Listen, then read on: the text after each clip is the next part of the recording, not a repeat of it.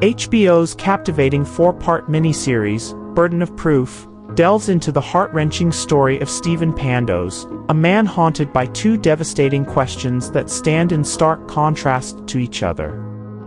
The series forces viewers to contemplate the unimaginable. What if you were utterly convinced that your own parents were involved in your sister's disappearance and possibly even her death? Conversely, what if, in the midst of this relentless pursuit of justice, you discover that your deeply held convictions might be unfounded? The narrative centers on Stephen Pandos, whose life has been irrevocably